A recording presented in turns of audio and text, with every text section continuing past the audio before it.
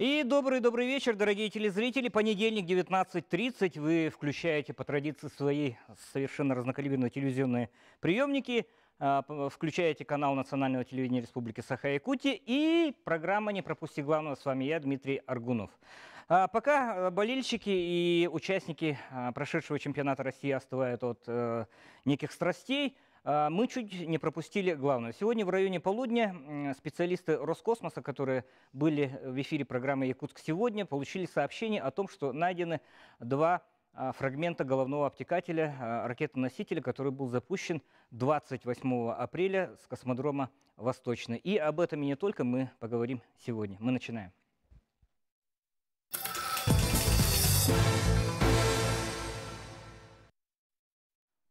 Давайте тогда, э, мы, при- приходится констатировать факт, что, а, Олег Юрьевич, что э, Роскосмос э, собрал все свое имущество, которое э, Разбросал. волей баллистики или волей там, судеб а, оказались на территории Республики Саха-Якутия. Да, совершенно верно.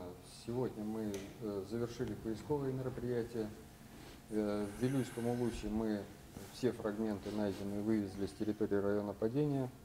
Э, сегодня были найдены два фрагмента головного обтекателя. Они э, э, еще разв- э, разделились на 2-3 фрагмента каждый. То есть э, не целиком упали на землю, на более мелкие фрагменты.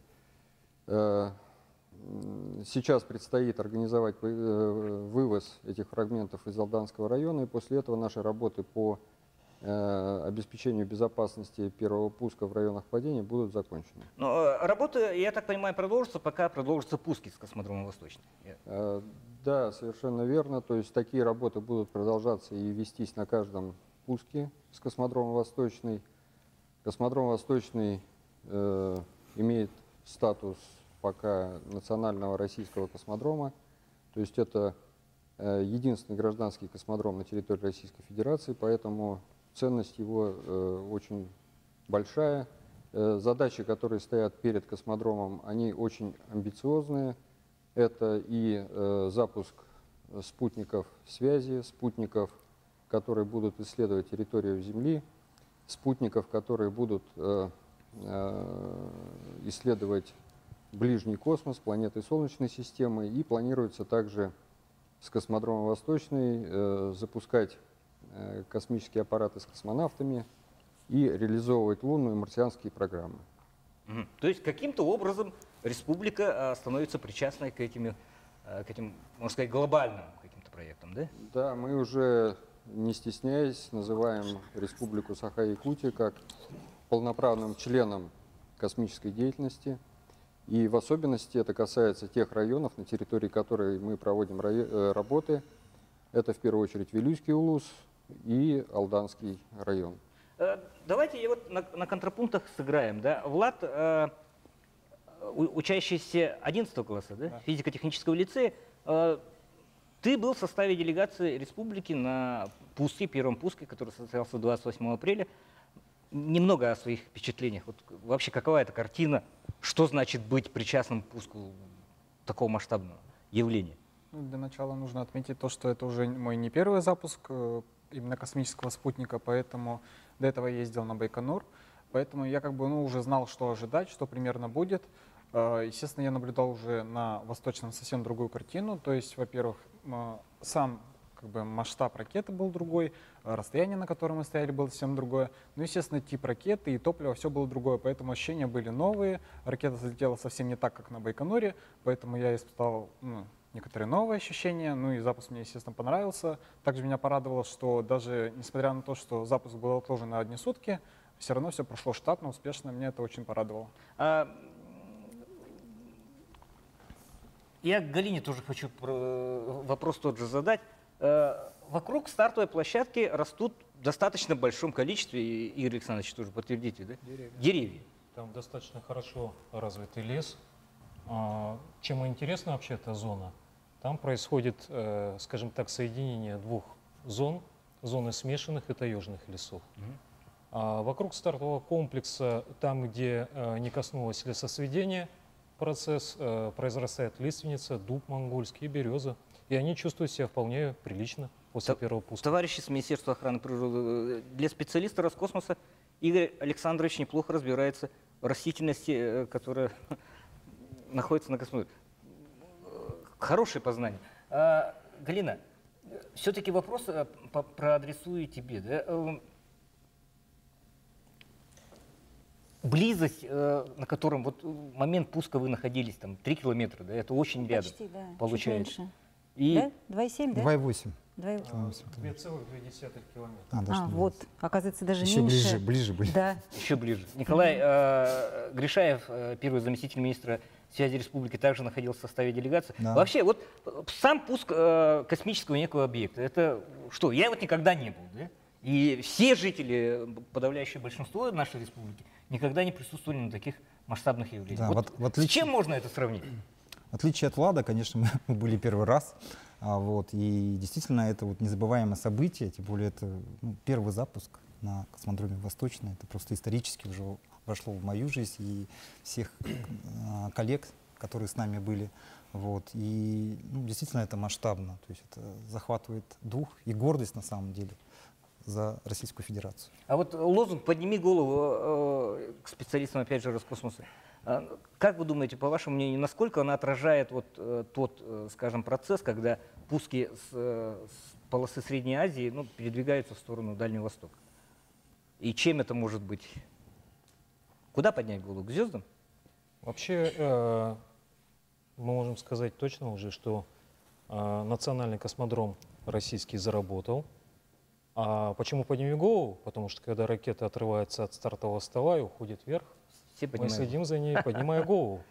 Потому что космическая деятельность ведь это на самом деле очень важный процесс. Если Россия не будет занимать определенный статус, то она уйдет с мировой арены именно как космическая держава. Ну, последнее сообщение новостных лентах, в принципе, подтверждает, что э,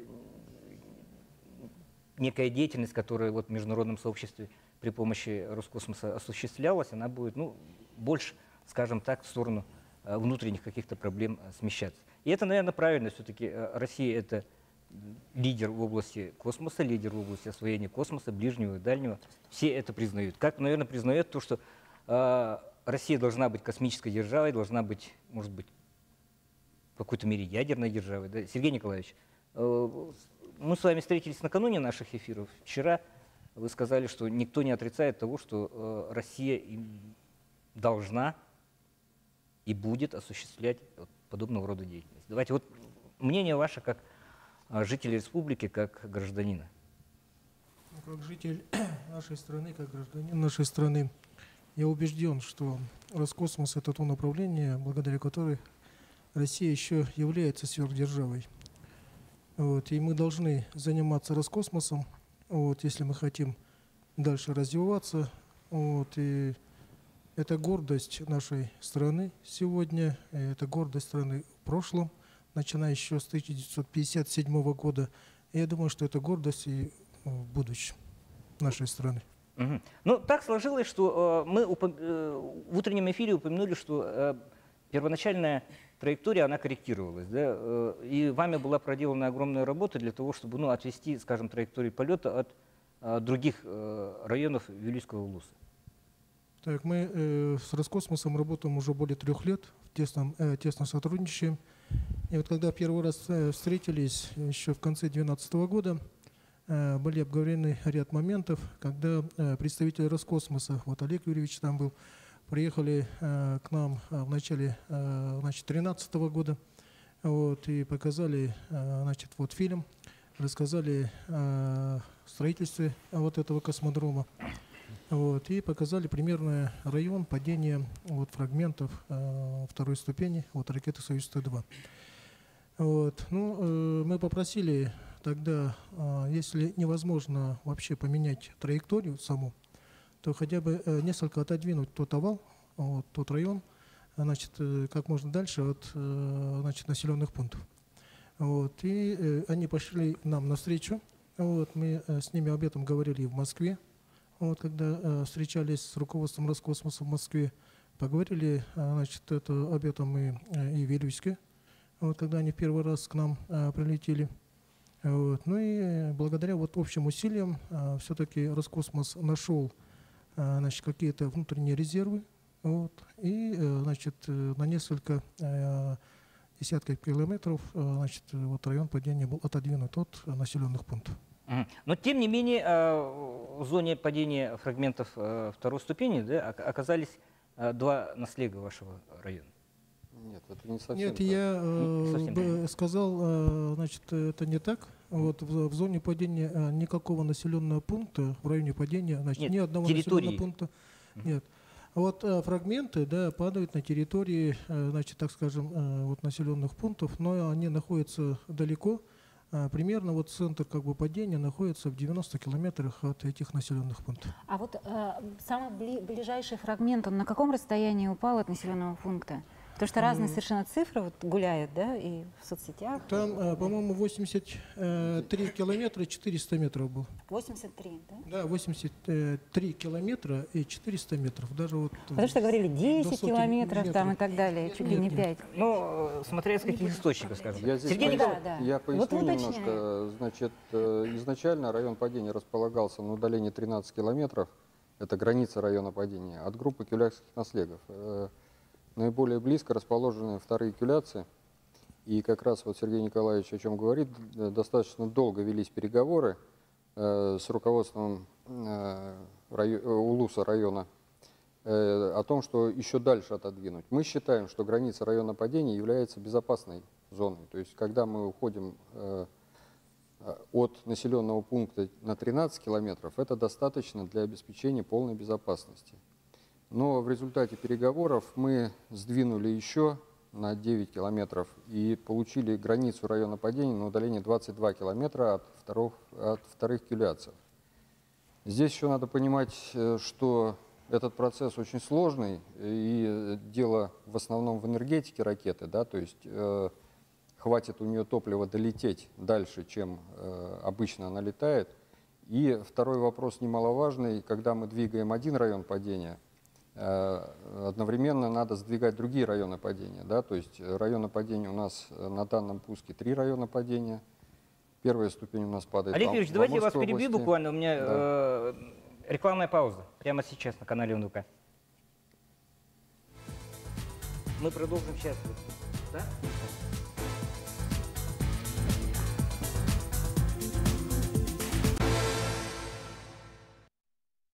Мы продолжаем эфир программы «Не пропусти главное». Сегодня у нас э, в студии представители Роскосмоса и э, соответствующих ведомств, и также глава Вилюйского УЛУСа, где э, в основном про- происходит падение фрагментов ракетоносителя. Но прежде чем мы примем телефонный звонок нашего слушателя, давайте, Олег Дмитриевич, все-таки по корректировке орбиты, вот вашу мысль, которую мы прервали, не кстати, очень.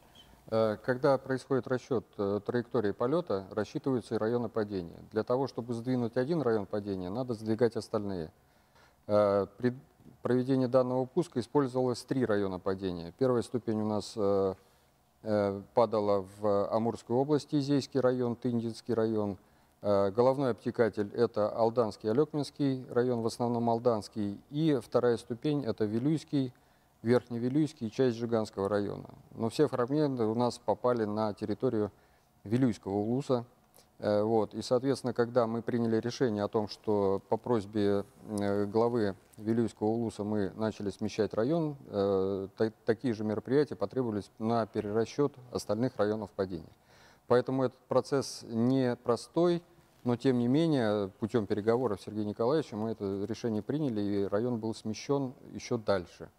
Но я повторюсь, что граница района падения является э, гарантом безопасности проживающего населения. А, Телефонный звонок нашего э, телезрителя. Говорите в эфире. Здравствуйте, Здравствуйте. Николай Петров, Якутска.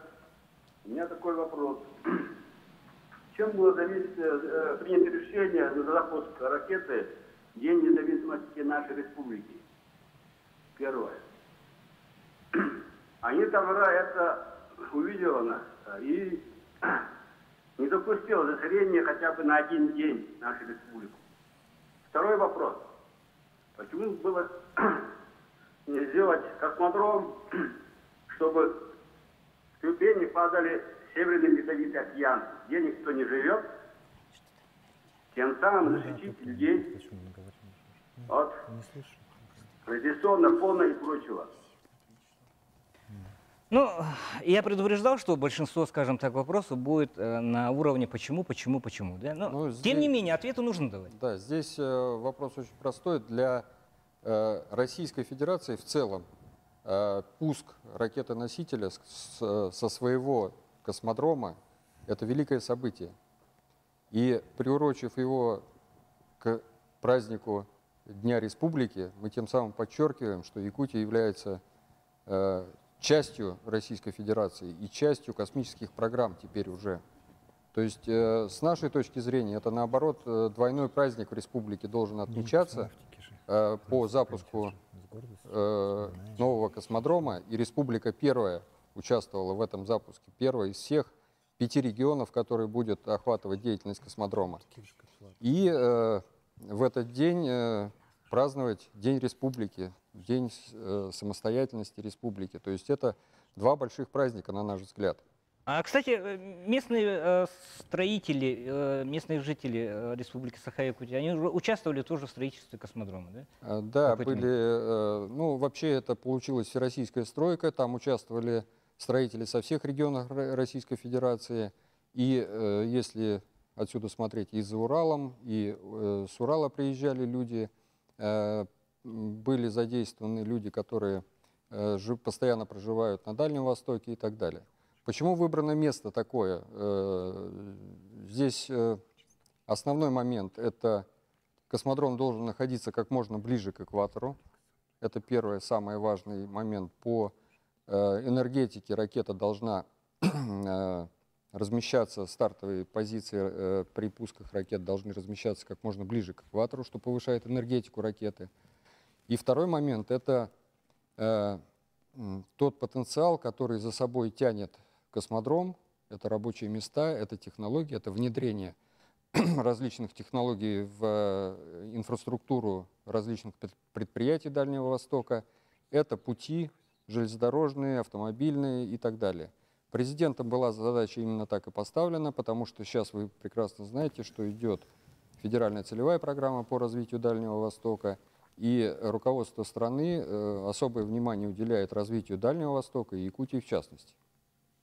Э, Кстати, вот э, Галина не даст соврать, э, говорит, что регион, ну, вернее, район космодрома из довольно депрессивного превратился, ну, Не сам район, там э, закрытый Поселок. город, да, Да. Углегорск, который сейчас вот Циолковский хотят переименовать.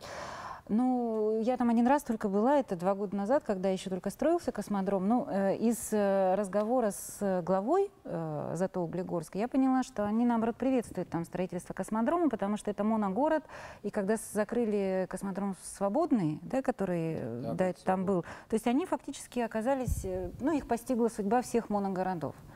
И сейчас как бы вот у них появился объект, который как бы вдохнул в их город новую жизнь. То есть, грубо говоря, людям Ну, это на, на- чем на заняться. 15 лет работы, то есть это только строительство космодрома То есть там Восточный. еще то есть, очень да. много предстоит построить, инфраструктуры, ну и так далее. 700 Да, квадратных да, кило- конечно. ки- километров, да, то есть это очень много этих а, объектов, да, на самом космодроме. Это, это дороги, это железнодорожное полотно, то есть очень много всего. а, Ну вот, наверное, Игорь Александрович лучше про это Ну, конечно, да? конечно. Они больше нас. Да. Порадуемся, конечно, за амурчан. Что касается космодрома Восточный, планы достаточно ам- амбициозные, и они отвечают космической программе Российской Федерации. А проблема а, состоит в том, что а, надо ввести в строй новые космические комплексы, в частности, которые мы называем ангара, пока так называем. А, На очереди строительство аэродромного комплекса, который будет способен в перспективе принимать даже космические челноки. А, По крайней мере, на сегодняшний момент построено а, примерно 30% а, объектов, которые э, предпо- предположительно будут введены в строй в ближайшие 20 лет. Что касается, э, я немножко отвечу на тот вопрос, который задал телезритель, что касается радиационного фона. Вот сейчас в студии находятся фр- фрагменты э, второй ступени, и у нас э, поверенный радиометр, который работает не прекращая с того момента, как мы его включили, он уже э, достаточно хорошо определился, он показывает 10 микрорентген в час, что, собственно говоря, составляет одну третью допустимой дозы для регионального фона Восточной Сибири и Дальнего Востока. Это 30 микрорентген в час. Нет, э, Игорь Александрович, на самом деле, даже я, будучи филологом, э, не верю в некую э, радиацию, которая сыпется с неба. Да? Э, Товарищ Гришаев, все-таки значение для развития, э, мы э, закончим вот спусками, да, и потом перейдем к регламенту поиска. Э, Значение э, в области развития телеком- телекоммуникаций в республике, вот как Ну, вы а видите? На как? самом деле а, значение очень огромное. А, Сейчас в республике постоянно действует порядка пяти космических аппаратов, да, которые предоставляют а, услуги телекоммуникаций. Вот. Но каждый космический аппарат имеет свой э, срок полезного использования. Вот э, в скором времени с орбиты ну, над Республикой Саха-Якутия уйдут порядка э, двух таких космических аппаратов. Вот. Ну и, соответственно, нужна, замена. Вот. А, Сейчас полностью покрывает республику у нас только один космический аппарат, это экспресс АМ-5, на котором а, операторы связи, собственно говоря, в основном и работают. А, Как вы знаете, э, Республика Саха-Якутия заключила еще договор с компанией «Газпром», и у нас еще заработал один аппарат ИМАЛ-401. Но он не полностью покрывает республику, он покрывает, а, то есть не покрывает северо-восток. Вот. Мы сейчас работаем над а, использованием К-диапазона. Это, а, скажем так, очень а, хороший диапазон в качестве предоставления скоростных каналов связи. Ну, так условно скажу, до 20 а, мегабит в секунду. Мы сейчас работаем над тем, чтобы, а, во-первых, создать на космическом сегменте а, для наших операторов связи конкуренцию, а, и чтобы снизить затраты на предоставление именно спутниковых каналов связи. Вот, ну, прекрасно понимаем, что уходя от э, космодрома Байконур на космодром Восточный, да, то есть это прекрасно понимают, что это находится в другой стране, и мы за это платим там арендные платежи, вот, которые тоже а, составляют какую-то затратную часть для предоставления, собственно говоря, спутникового сегмента для конечных пользователей. Вот. Поэтому в ближайшем будущем, конечно, мы планируем на том, что космический сегмент именно в предоставлении услуг связи э, по их ценовой политике, он будет снижаться. То есть мы можем напрямую связать э, улучшение качества предоставляемой связи с э, космической программой, которая э, Вот, ведется э, именно с космодрома. Коллеги э, сказали с, Ро- с Роскосмоса о том, что планируется э, запускать тяжелые ракеты и потом сверхтяжелые, которые способны именно космические аппараты, которые сейчас действуют на территории республики, собственно говоря, запустить. Вот. Утрируя, можно ли связать э, быстрый WhatsApp и космическую программу? Утрируя. Как- В какой-то мере, да? В какой-то мере. Я, я здесь добавлю один момент, что перед э, космодромом и перед Роскосмосом правительством Российской Федерации уже поставлена такая задача по увеличению пропускной способности каналов связи, и такие спутники будут продолжать запускаться, и запускаться будут с космодрома Восточный.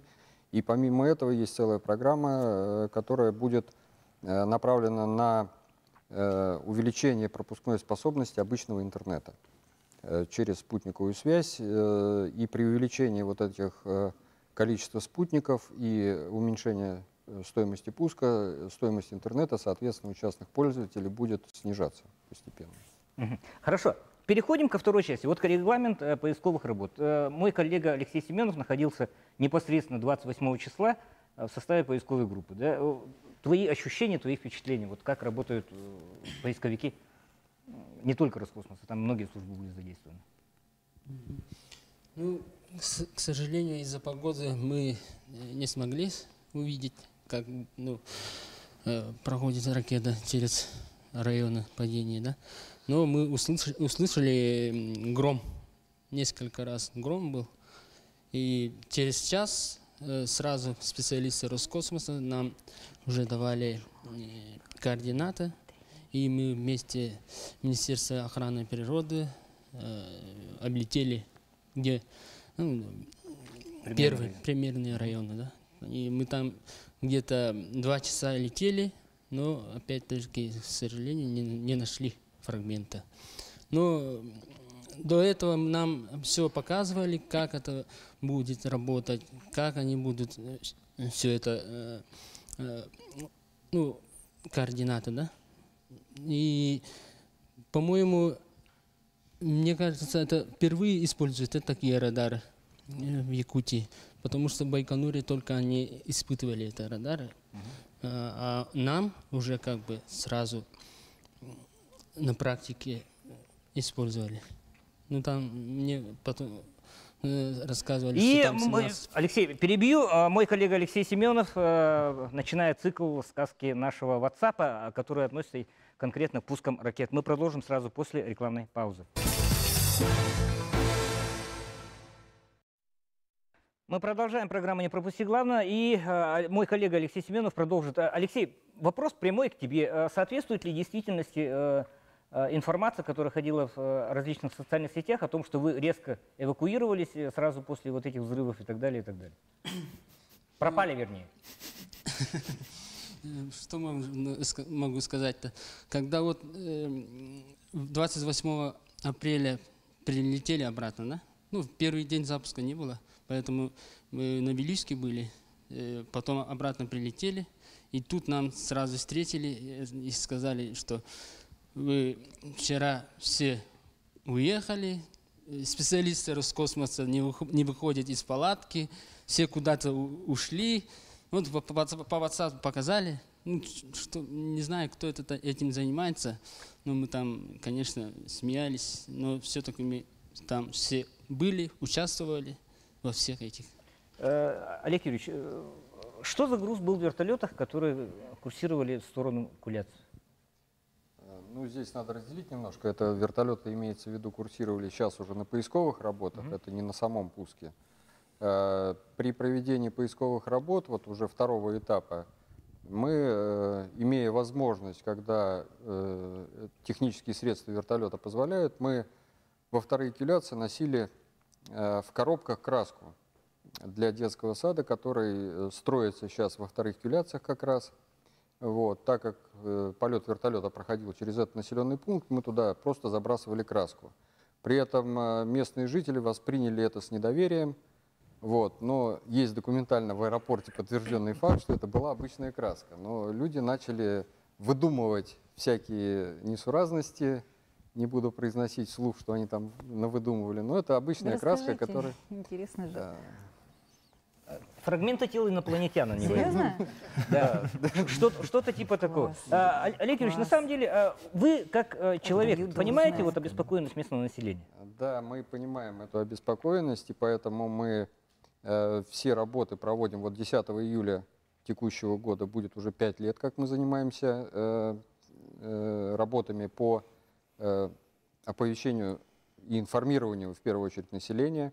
Ну, начали мы работу, конечно, с э, предложения правительства и просьбы правительства Давай оказать этом. нам содействие в этом направлении. Затем мы э, вот в течение уже 4-5 лет проводим э, беседы с населением, информирование. Это информирование проводится как на официальных встречах, так и неофициальные встречи. И э, что характерно, вот у нас даже по результатам этих работ заактированное мероприятие, которое мы проводили. Например, был- была проведена рабочая встреча в первых кюляциях, населенный пункт Усун. Также мы проводили встречи в других населенных пунктах.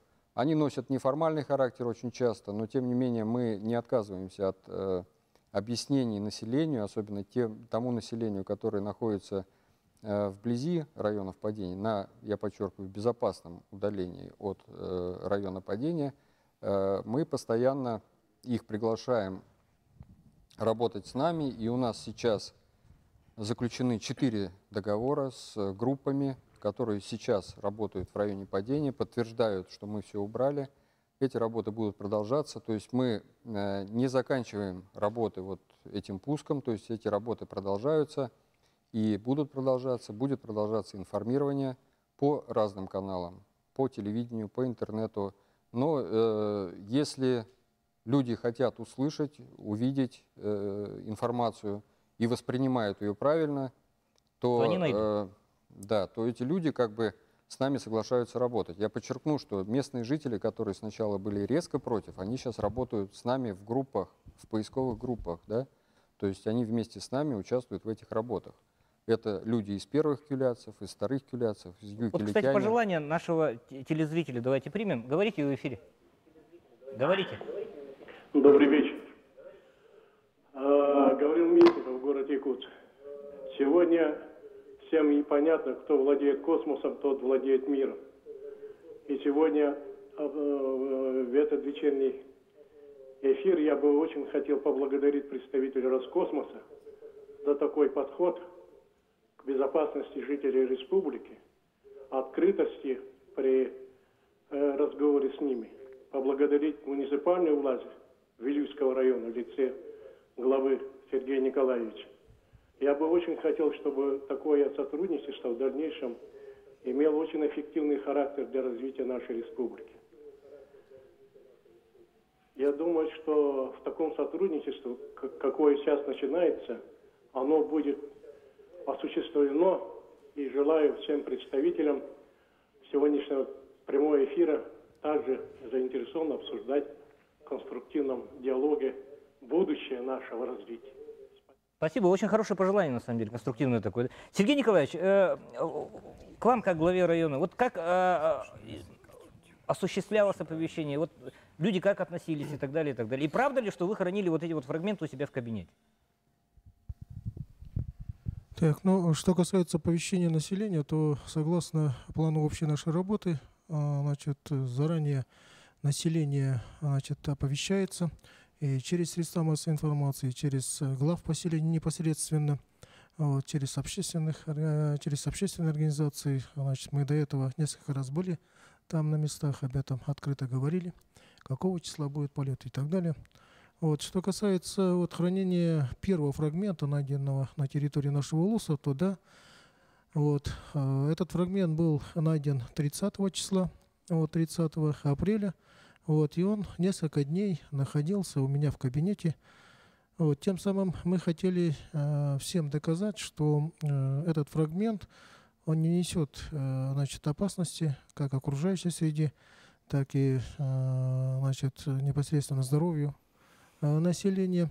Вот, что там никакого действительно, вот, э, как говорили э, по WhatsApp и так далее, там нет никакой радиации, там нет э, никакого гептила там и так далее, и так далее. Это просто, э, значит, расплавившийся, э, значит, обгоревший кусок металла, э, который э, никакой опасности, как я уже сказал, не несет. И вот э, через несколько дней э, вот хранения, а вот э, этот фрагмент вот, э, представители Роскосмоса подарили э, вот нашему музею краеведческому вот, имени Староватова как исторический вот, экспонат, вот, как первый фрагмент найденный у нас а, от первой ракеты и от первого российского гражданского космодрома. Я думаю, это очень ценный и хороший экспонат. Э, Коллеги, вот не хочу, конечно, уподобляться да, нашим информаторам из WhatsApp, но все-таки радиации там и не пахнет. Да? Ну, все неопознанное, все неизвестное, все, что за семи печатями, не секрет, что космос у нас довольно закрытое, скажем так, а, направление. Все это в первую очередь радиация. Да? Ну, что там может быть? Вот представители э, Министерства охраны природы. Ну, Давайте я скажу, что вот я поддержу. Работы начались пять лет назад, в 2011 году. Первая встреча с представителями Роскосмоса на уровне председателя правительства Галины Николаевны Данчиковой была, э, где при- принимали участие все ведомства, заинтересованные наши. Потом, значит, в 2013 году была подписана программа оргтех мероприятий, вот здесь сейчас все было озвучено.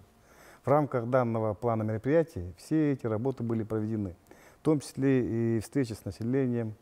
А, вот, ну, хочу сказать, что в действительности Роскосмос пошел к нам навстречу. И все представители вот, наземной службы, Роскорпорации Роскосмос, первые лица, руководители, они приезжали сюда, встречались с, с общественностью, с населением.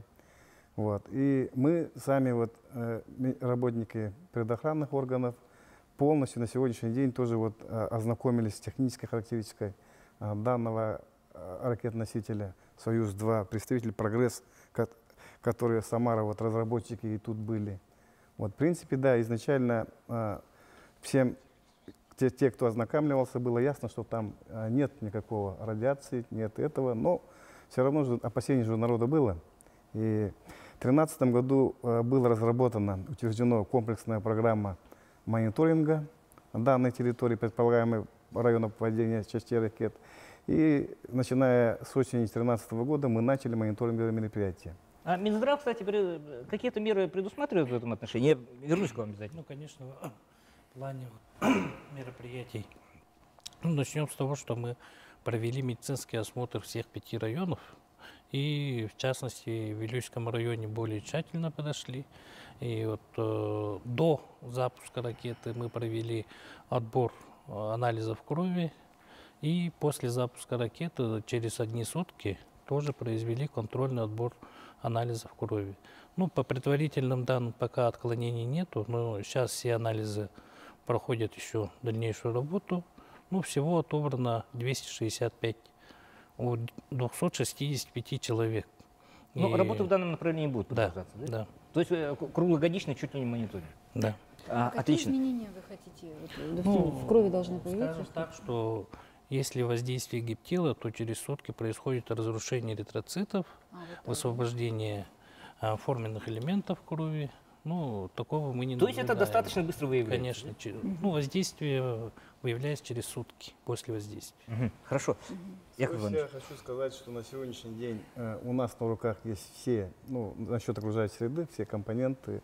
А, вот уже ряда лет мы уже отобрали пробы до запуска, и после запуска, как было озвучено, уже наша группа там отработала на местах. Вот Лена Семеновна, которая непосредственно была э, в Вильюйской группе УЛУСов, И вас туда? Да, и в Алданской группе УЛУСов я сам непосредственно руководил. Вот ездили мы, и там у нас тоже есть своя лаборатория.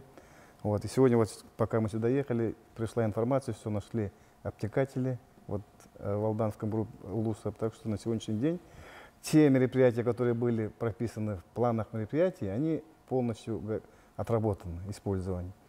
И на сегодняшний день вот, э, под руководством Петра Николаевича Алексеева, первого зампреда правительства республики, работает межведомственная рабочая комиссия, которая вот, ну, у нас еж- еженедельно ну, контролирует и запрашивает отчетность. Вот, видимо, завтра уже после итога всех этих работ пойдем уже отчитываться перед межведомственной комиссией. Э, Хорошо, давайте мы все-таки расставлять точки, да, поскольку программа призвана расставлять точки. А, Что же все-таки может находиться вот в фрагментах? э, Я так понял, это керосин, да? Ракета летает на керосине. Это обычный авиационный керосин, доочищенный, э, то есть высокой частоты. В качестве окислителя используется жидкий кислород для того, чтобы ракета могла лететь как в воздушном, так и безвоздушном пространстве. При этом кислород еще повышает энергетические характеристики самого керосина. Э, На ракете-носителе, кроме двух указанных компонентов ракетного топлива, другие вещества не применяются. Э, Значит, есть груз, который везет ракета-носитель. Там э, вариации этих грузов могут быть разные. Но как вариант, э, допустим, есть космические аппараты, которые и сейчас летают над э, Якутском даже. Вот если в звездное небо выйти посмотреть на небо, э, то вы Давайте мы уви- вы про увидите, небо да. сразу, опять же, после рекламной паузы. Вот Олег Юрьевич, не везет реклама а прямо сейчас.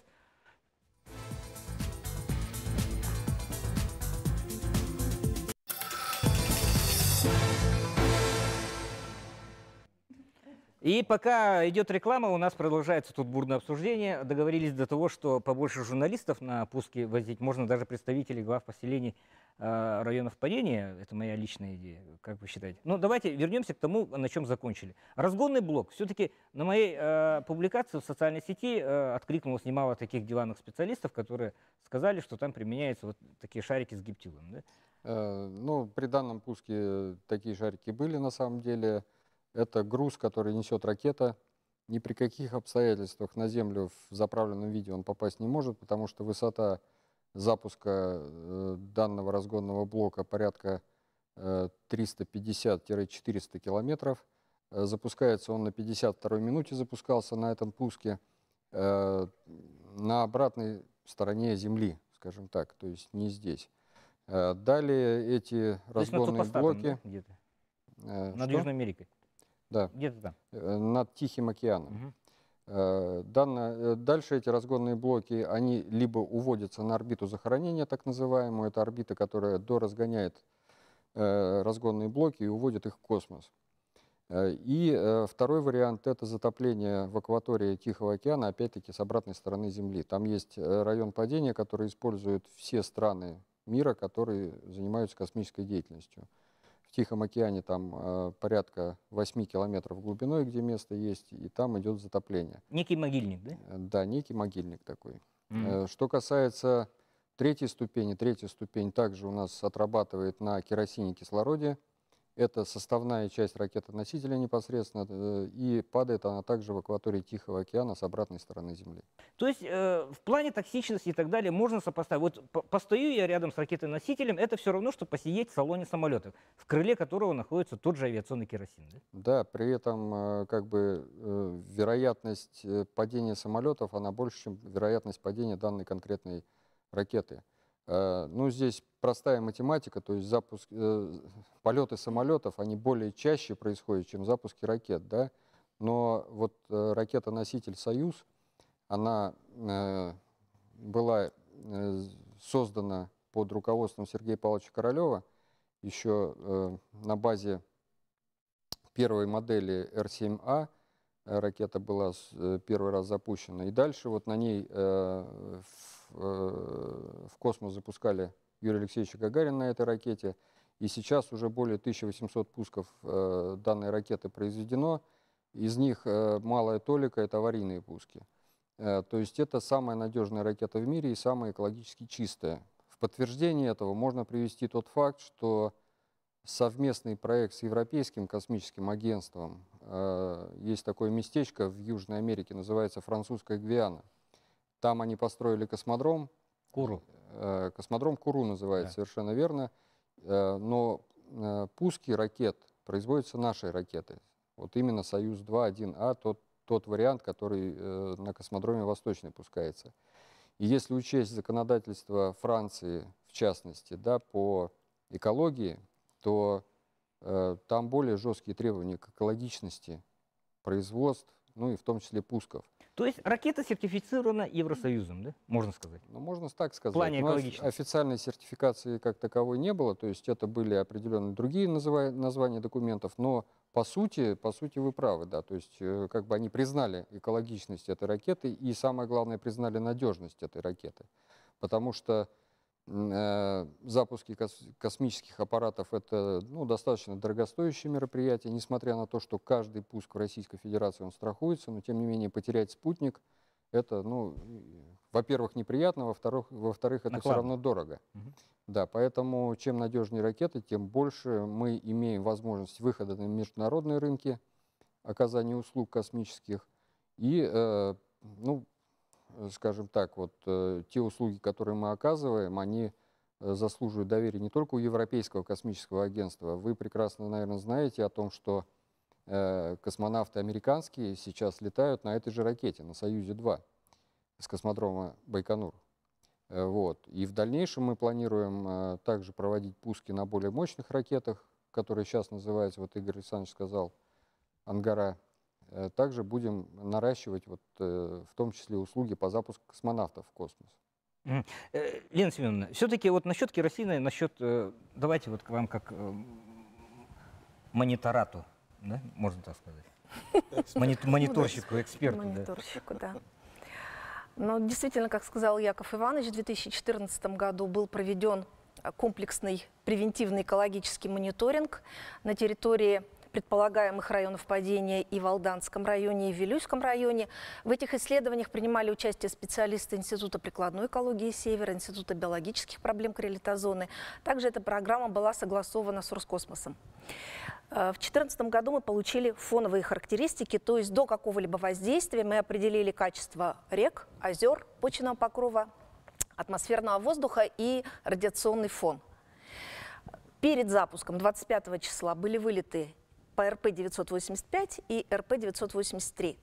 10 рай- э, мониторинговых площадок в Алданском районе и 9 мониторинговых площадок э, непосредственно перед запуском. Опять-таки были сняты все параметры всех природных сред. Атмосферный воздух, снеговой покров, вода, там, где возможно было пробурить да, водные объекты. И после запуска также проводились исследования. Особое внимание, конечно же, было уделено вот той территории, на которой был найден первый фрагмент. Камера сгорания.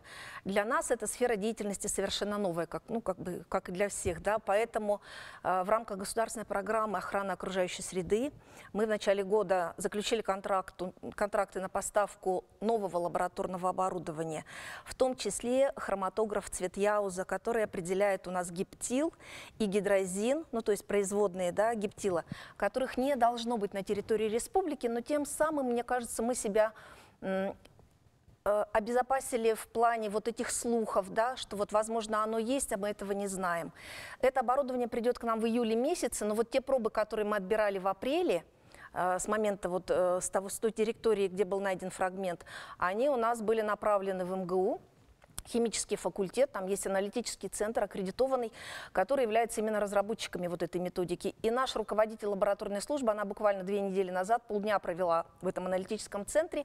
На прошлой неделе мы получили результатов, никаких производных гептила и самого гептила в пробах а, талой воды, это был снег, и почвы не обнаружено. Но тем не менее на перспективу мы этим оборудованием оснащены и сможем определять, потому что а, при встрече и с журналистами, да, вот, и с населением идет речь о том, что вот когда-то это все падало, что это вот лежит в озерах, и мы говорим, пожалуйста, отбирайте пробы, донные отложения, почва, вода, все что угодно. Вы можете это направлять в нашу лабораторию.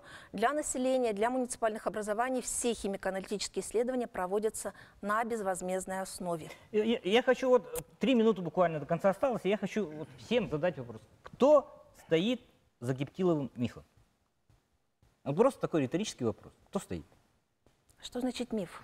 Вещество-то присутствует. Вещество есть, ладно, но да. в смысле то, что во второй ступени э, и так далее, и так далее. Ну, разрешите, если я отвечу. И очень кратко, в, хорошо. Общем, угу. да, то есть э, есть э, рождение слухов, оно не э, просто так. Некоторые на этом зарабатывают определенные дивиденды или стараются заработать определенные дивиденды. Э, вот. Есть э, силы, которые не желают развития Российской Федерации, которые против развития отечественной российской космонавтики, да, Э, и э, люди, может быть, по незнанию вот этого факта, может быть, по э, ну, недопониманию того, что это к чему влечет, начинают распространять такие слухи. На самом деле любому государству, которое работает в этой сфере, в сфере космоса, естественно, невыгодно, когда Российская Федерация уходит далеко вперед. А развитие российской, российского космодрома, э, оно способствует развитию отечественной космонавтики. Да? Поэтому э, эти слухи и подогреваются. А, э, интернет сейчас у нас всемирный, поэтому там можно прочитать все, что угодно. Э, вплоть до зеленых человечков там печатают, что мы с собой привозим зеленых человечков. Такие статьи я видел. Вот. Что такое зеленые человечки, я не знаю, ни разу их не видел. Да? Но тем не менее такие статьи есть. И э, данные слухи можно развить только с помощью понимания э, и доведения информации. Э, спасибо, Олег Юрьевич. Э, да, очень коротко, хорошо. Дыма без огня не бывает. Угу. А, у нас это сейчас Роскосмос открыто пришел к нам, и вся информация она есть. А во времена Советского Союза Минобороны это была секретная информация, и не знали ни народ, ни население. Но тем не менее остатки частей-то находились. И потом, Поэтому опасения у народа правильные. И потом действительно э, и гептильные ракеты тоже летали, и на гептиле да. летали. Просто люди где-то где тут кусочек информации, где-то там. Глубоко же сильно в эту тему никто и не... И вплетая. Ну, я, я сразу скажу, что, Сергей Николаевич, э, для многих, нет, э, просто подытаживая, да, в Вилюйском районе риск э, погибнуть от падения метеорита на самом деле больше, чем от падения частей ракет-носителя Роскосмоса. Согласны с этим? Я бы, э, да я, или нет? Я бы так не сказал, но метеорит, э, значит, иногда только падает, да и ракеты тоже не часто летают. Поэтому я не сторонник ни тех, ни, ни этой версии. Ну а так, конечно, там э, без политики, наверное, наше общество жить не может. Везде и всюду у нас политика. Да, давайте Плохая, мы вынуждены... хорошая, ну, политика, она везде Мы есть. вынуждены закончить. Спасибо всем а, участникам нашей сегодняшней программы. Спасибо представителям Роскосмоса еще раз за, за то, что приехали специально к нам рассказать о космической программе. Увидимся.